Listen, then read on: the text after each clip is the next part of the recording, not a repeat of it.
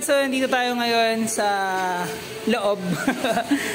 Papa, ano natin, papa, papapalitan na natin ng coolant si Poco. Tapos, palit ng spark plug. Tapos, ano ba ba? Ano pa bang gagawin? Air filter. Yan. So, meron, meron ng bagong kasama palang mekaniko si Mark.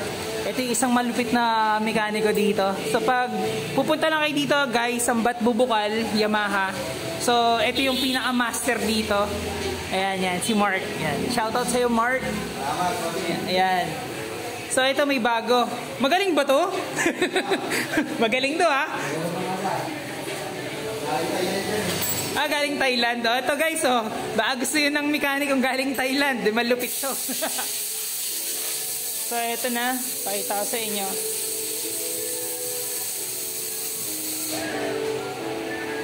So, baklas muna siya ng flarings. Pagka baklas,